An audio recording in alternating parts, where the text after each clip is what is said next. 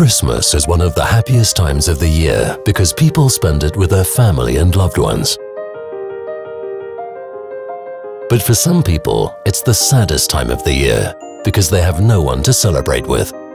That's why we launched an online platform where the lonely and the festive people can connect. The user can either log in as a guest or as a host. At the virtual table, they get to know each other and choose a date for their Christmas dinner in the real world. Single mothers with young couples. Widowed seniors with extended families. Exchange students with local students. Our small idea got covered by hundreds of blogs even before Christmas.